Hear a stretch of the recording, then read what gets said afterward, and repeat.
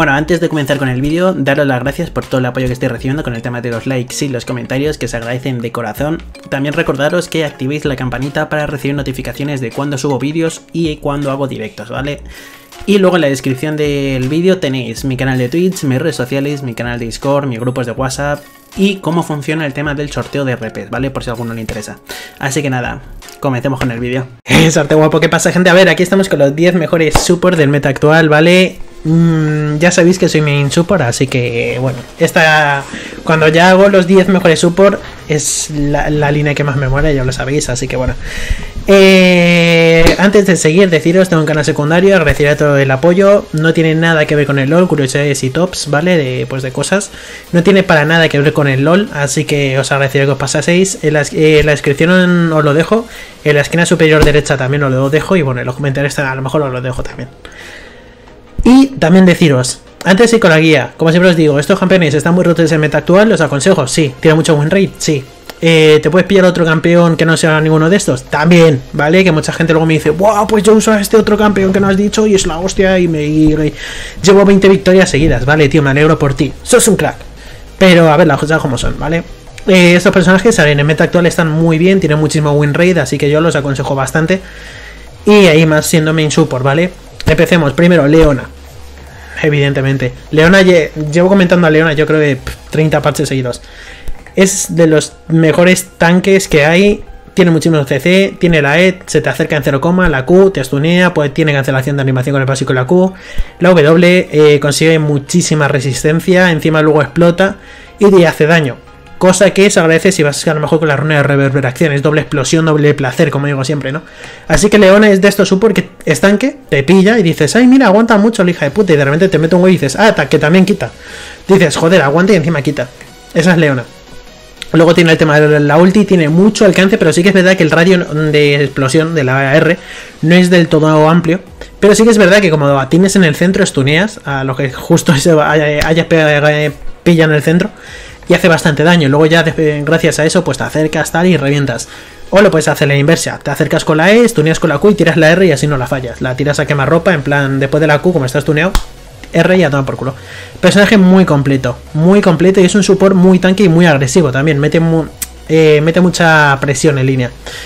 Segundo campeón, 3, más de lo mismo, ¿vale? Es un personaje que en cualquier momento, como te pille con la Q, estás jodido. Así que tienes que estar, tú eres el AF de enemigo, y tienes que estar todo el rato atento al puto 3 que te va a dar y es como, joder, macho, estoy farmeando y estoy... Tengo que estar atento al puto 3. Pues 3 luego se suele pillar la puta movilidad, corre mucho y de repente a lo mejor se te acerca, se va, te mete algún básico, te, te cagas un poco, ¿no? Mete mucha presión. Luego el tema de la E puede o bien empujarte o bien atraerte y aún así te ralentiza, luego le es más fácil meterte la Q. Tiene mucho alcance la Q, tiene la linterna con la que si un aliado la pilla se va con 3 y encima también escuda. La propia linterna mete un escudito. Parece una tontería, pero os agradece muchísimo en una pelea. ese escudito muchas veces mm, me ha terminado dando la vida, ¿no? A mí o a algún aliado. Y luego la R, bueno, creas un pentágono y el que toque la pared, pues haces daño y ralentizas una bestialidad, ¿vale? Lo de el tema del R3 no está del todo mal, pero es una R que eh, no está mal, ¿vale? Ahora muchos me diréis, pero si es la hostia, tío, me dio una teamfight la tira así, guau. No está mal, pero prefiero ante la R Leona. Eh, ah, las cosas como son. Pero bueno, ya solo con la Q, la W y la E, 3 es el pollón bendito. Y encima luego un basicazo de la hostia gracias a la pasiva de la E. Nice. Tercer campeón, Lulu. Es de los mejores support que hay en el juego, ¿vale? En el meta actual y en todos los putos metas. ¿Por qué? Porque Lulu le hace counter a cualquier puto campeón. Todos los campeones se mueven por combos y demás. Lulu, con el tema de la polimorfia, es de los únicos campeones que tienen polimorfia o es la única más bien, te convierte en animalito. Te puedes mover, pero no puedes ni hacer summoner, ni moverte, ni pollas durante X segundos. ¿Qué pasa con la polimorfia? Imagínate que, yo que sé, un, un Warwick se te lanza a tropel, o un Rengar, un Kha'Zix justo te salte, te va a meter el combo, le haces animal, ping, le conviertes en animal y le dejas durante unos segundos sin hacer nada. Entonces, puedes aprovechar para meterle más CC, reventarle el orto, etc. Por lo que Lure es un personaje de la hostia y encima se puede jugar muy agresivo, muy defensivo.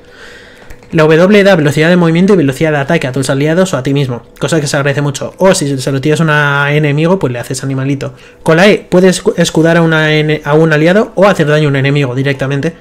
Y con la Q digamos que tiras una especie como de estela que ralentiza, ni más ni menos. Que va la tira con el báculo Lulu y con Pixis, ¿vale? Que es un, el puto bichito que tiene en la cabeza, ¿vale? Es una especie de hada. Que se hada, si tú le tiras la E a un minion, por ejemplo, y tiras la Q, tiras la Q desde el báculo de Lulu y desde el propio Pixie este, desde la, mierda de esta. Entonces, ¿qué pasa? Que es más fácil llegar a pokear. Encima ralentiza y con eso quieras que no se agradece. Luego tiene el tema de los básicos. Pixis también tiene básicos mmm, by the face, por lo que está bastante bien para pokear. Das un básico con Lulu, sale un básico y luego salen como tres basiquitos ahí todos rápidos que quitan poco pero hacen algo. Sinceramente me parece un campeón muy completo. Y luego la R se lo pones a un aliado, pum, le consigue mazo de vida máxima, se hace gigante y empujas a todos los enemigos circundantes. Cosa como os dije antes, que se te mete un Warwick con la ulti, un Kha'Zix, un Rengar justo te salta, le tiras la R al aliado, ¡pum! Le, le, le, alejas y encima le das mucha más vida a tu aliado. Le alarga la vida, luego ya le pones velocidad de movimiento y de ataque si quieres, o el escudo, o va. Es un personaje muy, muy completo. Si sois eh, support, haceros mi Lulu sí o sí. De todos los support que voy a decir, yo siempre os digo, Lulu tienes que saber usar. Luego ya si queréis otro campeón, pero Lulu siempre la suelo aconsejar 100%. O sea, eh, aprended a usar a Lulu y luego ya vais cambiando de. vais de campeones. Cuarto campeón, Rel. Sinceramente, no me gusta. No sé, salió, la probé, le estuve, estuve jugando con ella, he jugado varias partidas con ella. No es que no me gusta, tío. Pero sí que es verdad que está bien. No os digo, evidentemente, esto es como Zed en mid. Odio a puto, al puto Zed. Es más, no me gusta jugarlo, pero está muy roto. Pero a mí me pasa con Rel, ¿vale? Está muy roto, es un personaje que aguanta como casi ningún otro super, aguanta un huevo no aguanta más que Brown, pero casi, aguanta un montón. Eh, luego tiene bastante velocidad de movimiento cuando va con el caballito. Si no va en el caballito, pues no tanto, pero bueno, un personaje con muchísimo CC, un CC un poco extraño además. Aguanta un huevo, luego tiene el tema de la R que provoca a todos los campeones enemigos, cosa que se, agradece mucho en una teamfight. Si tú saltas en medio de una teamfight y tiras una buena R y atraes a todos los enemigos, y encima luego les hace daño también. Pues les atraes y eso en una teamfight ayuda muchísimo. Puedes hacer engage perfectamente con Rel, pero claro, siempre con un poquito de cabeza. Pero vamos, aguantas tanto que te puedes meter ahí a tropel a lo loco y como si nada. Quinto campeón, Bardo. Eh, siempre digo lo mismo, Bardo es un support acojonante, increíble, pero si lo sabes usar bien. Si no sabes usar, ni lo uses. Lulu, en cambio, por ejemplo, si no sabes usar, siempre puedes hacer muchas cosas, ¿no? Siempre puedes ayudar, aunque no sepas usar del todo. Bardo sí que es verdad que si no lo sabes usar bien, eh, pues tienes el tema de las campanitas. Tienes que saber cuándo romear, cuándo irte a otras líneas a ayudar y cuándo no. Cuándo no dejar solo a tus ADC y cuándo sí. Tienes que saber tirar bien la Q para stunear eh, con minion o con la pared. Tienes que saber mmm, cómo gastar el mana con el tema de las W, de los, las mierdas estas para la curación. Eh, tienes que lanzar una buena R porque una mala R de bardo puedes trolear a tu equipo. Te lo, lo, digo porque yo muchas veces juego con un chaval que se llama Subterror, que es un poco retrasado. Se le quiere, pero es un poco tontito. El... es que no sé, no creo que vea el vídeo, así que que se joda. Y entonces, ¿qué pasa? Que muchas veces me acuerdo yo cuando empezaba a jugar con él, cuando iba con Bardo, pues me troleaba un poco con el tema de la R, ¿no? Porque, ¿qué pasa? Estunea todo lo que pille justo pues en el área de la propia R. Evidentemente, si estás en medio de una teamfight, estás siguiendo a un enemigo, tú eres este y el enemigo es este, el enemigo se está escapando y dice, Ibardo, tira la R y te la tira a ti, en vez del enemigo. Entonces tú te quedas congelado y el otro se escapa. Pues eso mismo puede llegar a ser muy troll. O todo lo contrario, en una teamfight a lo mejor estuneas a los cuatro enemigos y dejas solo a uno sin estunearse. Y entonces vas a por el único. Porque no es un stun, sino que los dejas doraditos. Es como el Zonias. Es como meter un Zonias a los cuatro. Puedes también salvar aliados, así el típico aliado que está a punto de morir, tiras la R, ping, le haces dorado, no le pueden hacer nada y gracias a eso le terminas salvando, etc. Es un personaje un poco completo. Luego tiene el tema del portal, también tienes que saberlo usar y teletransportarte con el portal. Es un poco más complejo, pero no sé si, creo que aún no he traído la guía actualizada de Bardo. Tengo muchos gameplays de Bardo y tal, pero aún creo que la guía actualizada no la he traído, pero tranquilos que la traeré. Eh, sexto campeón, Morgana. Eh, es un support, AP, hace daño, pokea, mete un stun que dura muchísimo tiempo, tiene mucho alcance además en la Q. Luego tiene la R que puedes llegar a stunear a varios enemigos a la vez, ¿vale? En una teamfight, siempre y cuando no salgan del círculo de la propia R. Y eso hace que puedas llegar a jugar un support que haga daño y, que y con el que encima poder carrilear, porque una buena R de Morgana en una teamfight, joder, hace muchísimo. Pues ya no es solo eso, sino que dejas a 8 minutos ahí estuneado al enemigo y ya está, porque entre la Q y la R al final a lo mejor se tira estuneado 4 o 5 segundos y te acabas en la puta. Lo bueno de Morgana también es que es anti-CCs, tiene un escudo que se lo pones a un aliado o a ti mismo. Te, le pones el escudo y entonces, mientras dure ese efecto, el CC que le metan, una, la Q de Leona, la W de Lulu, la Q de Thres, eh, no tienen efecto, no le meten el CC, ni le ralentizan, ni le stunean, ni le mueven, ni pollas. Por eso mismo es el counter de todo tanque, support como Rel, Nautilus, Leona, todos esos personajes que tienen mucho CC. Por eso Morgana, si la sabes usar con cabeza, es increíble, ¿vale? Es muy buena campeona. Séptimo campeón, Nautilus a mí me gusta más que Leona. Nautilus es que siempre me ha gustado. Como personaje en sí me mola, me hace gracia. Y encima si vas con nuestro Nautilus, que va andando así, me hace mucha gracia.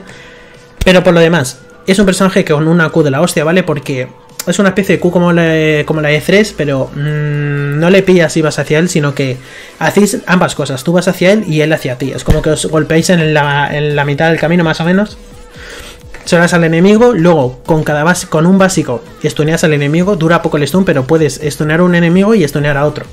No puedes estar dando básicos y estuneándolo todo el rato, solo es una vez. Le sale una especie de redondel debajo y entonces hasta que no se acabe el redondel no le puede volver a estunear.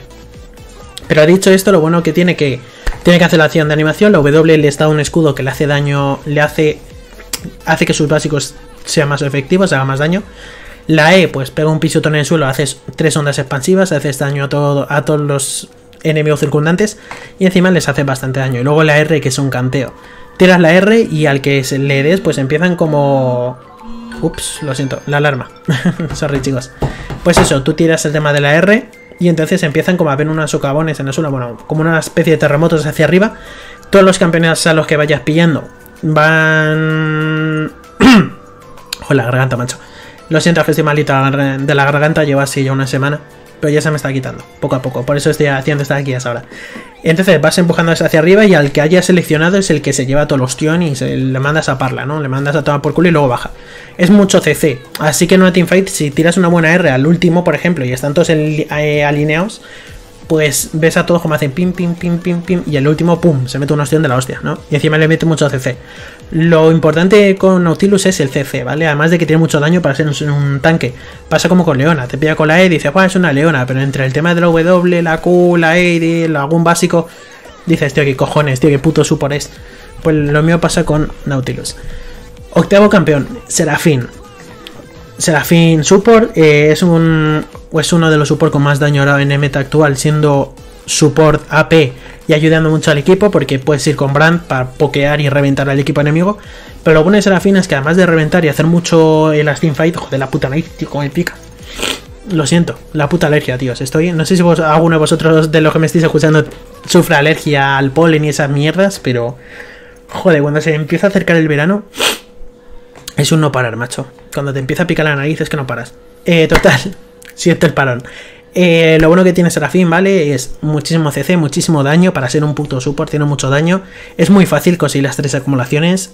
Puedes tirar una doble Q o una doble E, con lo que puedas ralentizar y stunear si das con las dos Es, o hacer mazo de daño si das con las dos Qs. Luego la W da un escudo y cura muchísimo y tiene un área de la hostia, porque no tiene un área bestísimo. Yo siempre he dicho que es como una especie de mejora de zona, se parece mucho a zona, pero es una especie de mejora ¿no? a, lo, mejor. Y luego la R, que es increíble. La R encima tú la tiras, estuneas a todos bueno, estuneas, provocas, enamoras, por así decirlo, con el canto a todos los enemigos que pillas, entonces les atraes hacia ti, pero lo mejor de eso es que si hay, joder, la nariz, es que si hay aliados o enemigos, se amplía la ulti, o sea, sé que a lo mejor estás aquí, tiras la ulti y llega a tomar por culo, siempre y cuando estén alineados los campeones. Pues en medio de una teamfight a lo mejor puedes llegar perfectamente a pillar a los 5 a la vez. Me ha pasado muchas veces de tirar una OR de Serafín, pasar por campeones, print, y dar a los 5 campeones enemigos y atraer a los 5. SCC en una teamfight es bestial, hace muchísimo, ayuda muchísimo. Noveno campeón, Blitzcrank. Muchos lo, habréis usado, súper divertido, ¿vale? El brazo de Blitz es de lo más jodido, la puta nariz me está tocando los cojones, estoy por quitar el vídeo y seguir clamando en un rato. ¡Oh! Dios. Total, Blitz te pilla con el brazo, te atrae, ¿vale? Te coge con el bracito, te dice aquí papi, vente y te da todo lo suyo. No hay más. No, pero en serio, fuera de coñas. Lo bueno que tiene Blitz es que, por ejemplo, la Q de 3, tú la das, vas hacia el enemigo, la Q de Nautilus vais ambos, ¿no? Os pegáis. Pero es que Blitz te pilla y te atrae. Y te da un poquito así por culete. Ni más ni menos. Por eso mismo la presión que ejerce un Blitz en línea es muy bestia. Porque si tú eres una EC y estás farmando y ves un Blitz que se está posicionando, dices, es que me, quiere pillar con el brazo y te empiezas a mover y tienes que estar atento a las dos. Por eso mismo Blitz es un personaje que mete mucha presión. Por eso mismo el support enemigo tiene que estar muy atento e intentar también meter un poco de presión, porque si no su ADC va a perder mucho farm. Lo mejor de Blitz es que como pide con el brazo al que pilla, suele terminar o muriendo, casi muerto, o gastando los summoners. Porque tú le pillas, le atraes, y encima, una vez le atraes, encima le metes una percal con la E y le elevas.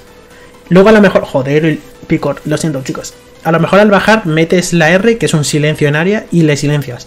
Todo esa amalgama de CCs, ¿vale? Se suman y al final termina a lo mejor el campeón 4 o 5 segundos ahí entre medio estuneadillo, silenciado y demás. Y entonces puedes hacer algún combo con tu ADC y reventarle el culo en 0, Se suele decir que eso, como Blitz te pille con la cuesta, muerto, ¿vale? A no ser que sea rápido y gastes el flash rápido, te revienta. Y bajo torre, pues la hostia. Y encima luego el brazo da igual que haya pared por medio. Porque si tú tiras el brazo y un campeón y hay una pared por medio, da igual, coges el campeón y lo atraes hacia donde estás. Salta las paredes, por así decirlo. Así que por eso mismo está tan roto. Décimo y último campeón. lo siento, la garganta ya. Yana. Yana en el meta actual es increíble, ¿vale? Eh, Yana es de estos personajes que yo siempre he dicho que están muy bien. Que da igual el meta en el que estés, porque es un personaje que siempre va a hacer algo, va a hacer bastante, más bien. Me pasa como con Lulu, es un personaje que, aunque le abufen un poco o la nerfen, siempre la voy a recomendar. Pues Yana es uno de esos campeones. Hay en parches que no la meto, porque sí que es verdad que hay gente que no lo. A lo mejor no tiene tanta efectividad como Lulu, porque Lulu está muy rota.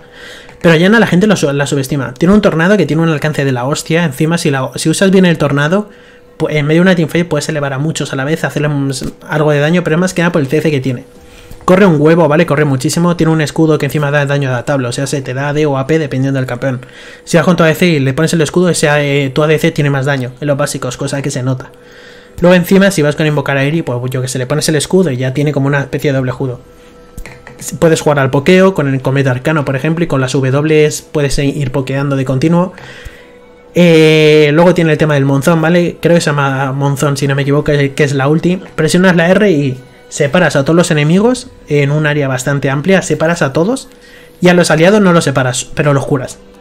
O sea, sé que en medio de una teamfight es increíble, porque es que quitas a todos los malos y a tus aliados los vas curando.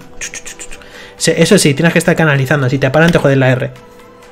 Pero sinceramente es un de estos personajes que, bajo mi opinión, está roto en casi en todas las fases de, la partida. En early, mid game y late game siempre hace algo, es bastante efectiva.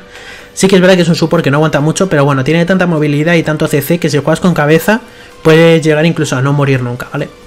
Y pues nada, dicho esto, espero que os haya rentado la guía, ha sido todo un placer. Como os dije al principio, recuerdo que tengo un canal secundario, ¿vale? Eh, al corazón, es de curiosidades y tops, no tiene nada que ver con el LOL. Os dejo la descripción en los comentarios en la esquina superior derecha. Y luego, bueno, en la descripción tenéis toda la información, mi canal de Twitch, mis redes sociales, mi grupo de WhatsApp y todas esas mierdas. Os aconsejo que activéis la campanita tanto en YouTube como en Twitch para recibir notificaciones de cuando hago directo y cuando subo un vídeo.